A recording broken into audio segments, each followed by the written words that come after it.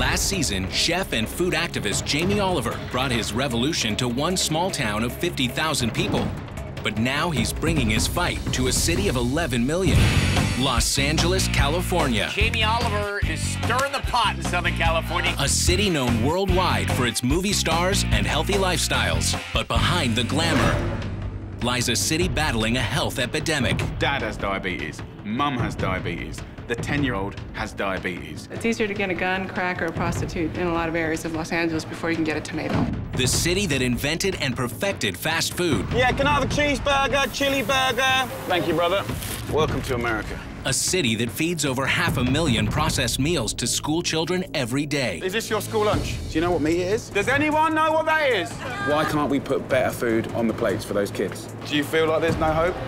If he could change Los Angeles, Now, honey, where's it come from? I think a bear. Your home is full up with all the junk that you eat in one year. perhaps he could change the world. Welcome to the food revolution. But this time, Jamie may have bitten off more than he can chew. Have they told you that I'm not even allowed to ask students anything about their school lunches? You can't take fries off the menu. So nothing can come off the menu? Why? There is a police car. Hopefully, that's not for me. I make the decision. You will not be in our schools. I've just received a call that all permits have been revoked for our show. They will not let me into any school, which means it's war. This is the stuff I've got to do to get people to pay attention.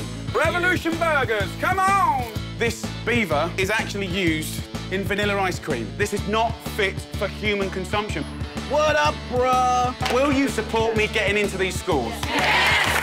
Every time they give you a load of great reasons, statistics, numbers, long words, just ask them one thing. Why can't we do better? It's Jamie Oliver's Food Revolution. Eat your vegetables!